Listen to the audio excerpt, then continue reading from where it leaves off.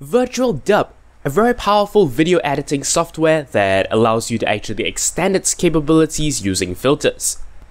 Now, I talk about Virtual Dub from time to time, and a lot of the time I sort of gloss over the part about, you know, how to install the software, but the truth is, thanks to the complexity of Virtual Dub, I think these details bear mentioning. This video is a suggestion from YouTube user PitPony2006, and will come to you in four parts. First, how to install Virtual Dub itself. You of course need this to, well, use any part of the program. Then, with that out of the way, we actually move on to something, you know, at a higher level. You see, the thing is, Virtual Dub doesn't actually read a lot of different video file formats, and the type of video files it can produce as an output at the end of the day is also limited by what you have installed on your system. Which is why the second thing we're going to be looking at is FF Input Driver. The third thing we're going to be looking at is a video codec called X264VFW. After you've installed both these things, you'll be able to read and write more file formats. Finally, we're going to be looking at how to install an individual plugin. We'll be using Deshaker as an example, but you can apply the same set of steps to basically any other plugin. So yeah, what you're seeing on screen right now is a contents page. You can click on those buttons at the side to jump to the relevant part of the video if you so desire. But yeah, the whole point of this video is that hopefully by the end of it, you'll be able to use Virtual Dub to its full potential. So let us begin with downloading Virtual Dub itself. To do this, you want to point your browser to virtualdub.sourceforge.net. Then, on this page here, you'll notice that there are two different versions of Virtual Dub, a version that is 32-bit and a version that is 64-bit. Now, for the sake of compatibility and just to make your life much easier, we're just going to be going for the 32-bit version. Really, even if you have a 64-bit computer, well, chances are you'll still have a better experience with the 32-bit version. So go ahead and click on that. That will bring you to the actual SourceForge download page, wait a moment, and eventually the download will pop up. As you can see, this is just a compressed folder or a zip file, so simply save it to disk. As mentioned, you will end up with just a zip file on disk, and if you actually, you know, open it, you'll realize that, well, it's just a bunch of files. There isn't an installer, and that is just how Virtual Dub works. What you probably want to do is create a folder somewhere consistent, say on your desktop, move the zip file containing virtual dub to that folder, and then extract it there.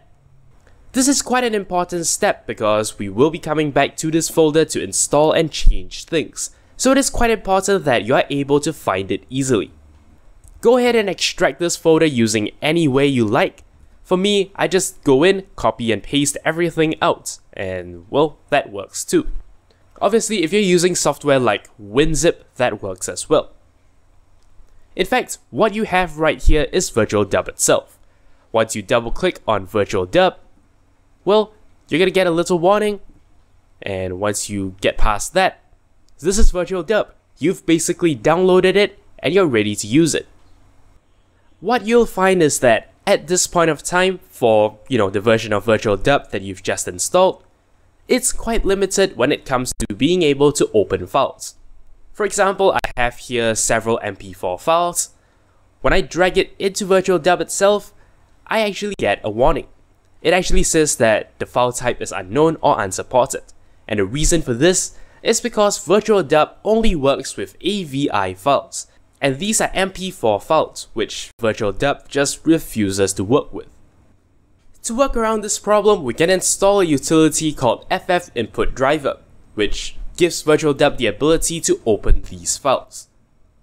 The simplest way to get FF Input Driver is to simply Google it. Go ahead and type it into Google, you know, something like FF Input Driver Virtual Dub, and well, the top results will be a SourceForge project, You'll want to look for one that says something like this, you know, FFmpeg input plugin. When you click on it, you'll be taken to yet another SourceForge page in which you can download a zip file. So this is exactly as you would expect, wait a couple of seconds, you'll be prompted to download a zip file. Go ahead and confirm it. when the download is complete, once again, you're gonna end up with another zip file on disk. Now, this one actually contains both the 32-bit and a 64-bit version. Since we've installed 32-bit Virtual Dub, we're gonna be going for the 32-bit version of this plugin. What you have to do now is, if you have Virtual Dub open, you're gonna have to go over and close it. Then simply grab the plugins 32 folder, copy it, jump over to the virtual dub folder, and simply paste it. Now, this is what's gonna happen. There is already an existing plugins 32 folder that Virtual Dub has created. So what happens when you paste the folder of the same name is you're gonna merge the two folders, which is exactly what we want. Go ahead and say yes, and what's gonna happen is FF input driver is going to be copied into the plugins 32 folder, as you can see right here. All we have to do to test this is to simply try and open an MP4 file in Virtual Dub itself. So here's the same MP4 file, drag and drop, and it works. Alright, now for the hard part. What we're gonna install next is called X264 VFW. Once again, Google it, it's the top result. Essentially, this is a little piece of software that is installed over your entire system, and any program that tries to actually write a video can make use of this to create the video file itself. Now, this is a very brief explanation of what a codec does. I've done an 18 minute video in the past that actually goes into detail of what a codec is, why we need it, how we can actually, you know, configure it. To be honest, and I'm not trying to sell my own stuff here, but that video will be extremely useful for you. I understand that it's long, it's dry, and there's a lot of theory in it, but if you're going to be working with video, you need to know some of the fundamentals. So I highly, highly recommend you actually watch that video. But in case you don't, what I'm going to do is I'm going to walk you through how to download and install this for yourself. You know, eventually when you can't figure out the settings, you'll watch the other video anyway. So here's the deal, go ahead and stick X264 VFW into your Google search box. There is the SourceForge link itself, once again, we're going through the exact same motion of actually, well, downloading the installer. So in this case, this is actually not a zip file, this is actually a program you can run that will install X264 VFW on your computer. So go ahead and save it. And once the download is complete, you will find an executable installer that you can run. Now, for this particular installer, well, you don't really have to do anything special go on through, just keep clicking next. On a particular page, you get to choose whether you want to install the 32-bit or the 64-bit version, or both.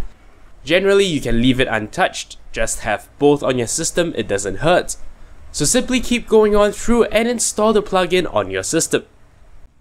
Now, if you had Virtual Dub open during the installation process just now, you're gonna have to close it and reopen it but to confirm that you do have the codec installed properly, what you're going to do is open up Virtual Dub, go to Video, go to Compression, and basically look for X264 VFW in the list. If it shows up, everything is great. You can now compress videos using this codec. If you actually want to configure this codec, which you will need to, you can go ahead and click the configure button, and you have a whole bunch of settings here that you can change. If you'd like to refer to what my latest settings are, I will have a link in the video description, or you can simply pause the video and look at what I have set here. Now, disclaimer, these settings are good for my own use. If you are using it in a different sort of situation, you might have to adapt accordingly. If you don't know how to adapt accordingly, that's okay. These settings are quite daunting. Like I said, I have an 18 minute video which I recommend you watch. But yeah, the point is, you're gonna need to have this codec installed. Every time before you save a video, make sure you come into this menu through video compression and make sure you click on X264 VFW.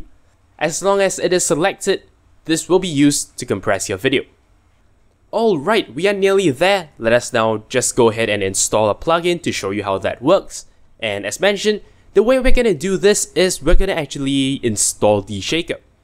So Deshaker is a plugin I use a lot, it's pretty cool, it reduces camera shake. It is a very useful plugin that I do also have a huge tutorial for. I won't force you to watch this one since you don't actually need it to understand this step, but I will put a link on screen anyway. So right, for this particular plugin, you have a download link here. Most plugins actually give you 32 or 64-bit versions. Those that don't are assumed to be 32-bit only. Since we have the 32-bit version of Virtual Dub, we'll want a 32-bit version of this plugin as well. So go ahead and click on the 32-bit link. This also comes to you in a compressed folder. Go ahead and save it. So once again, open or extract the zip file, you know, however way you like. And in this case, all we have is just a single VDF file. VDF stands for Virtual Dub Filter, and that is essentially how you expand upon the capability of Virtual Dub. So how do you install the plugin itself? Simple. If you have Virtual Dub open, go ahead and close it. Now, grab the VDF file and basically bring it into the same plugins 32 folder that we've seen earlier on in the Virtual Dub folder. So this is where Virtual Dub lives, and this is the plugins 32 folder in which we have actually installed FF Input Driver just now. All we're gonna have to do is to simply copy the deshaker.vdf file over.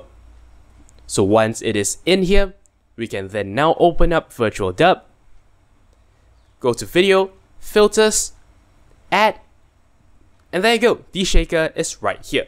So that is how we install a plugin into Virtual Dub. All you have to do is to download the respective VDF file and put it into the plugins 32 folder of your Virtual Dub installation directory. Once you've done that, the filter will automatically appear within the list of filters. And there you go! Today we've covered how to install Virtual Dub, how to extend its input and output capabilities, and finally, how to actually expand upon the functionality of the program itself by downloading and installing plugins. Hopefully this guide has been clear, hopefully it has been useful. Once again, thank you to YouTube user pitpony2006 for suggesting this idea. That's all there is for this episode, thank you very much for watching and until next time, you're watching 0612 TV. Thank you very much for watching. If you liked this video, consider checking out the rest of my work on my channel. Alternatively, you may be interested in a playlist of my earlier work on computing and computer science topics. If you'd like to show me some monetary support, I am on Patreon. You can find a link to my campaign in the video description. Of course, you can simply like this video or leave a comment. I'll be sure to respond as soon as I can. To keep in touch with my future uploads, do subscribe to this channel and for even more updates, check out the official Twitter account for this channel at 0612TV. Thank you for your support.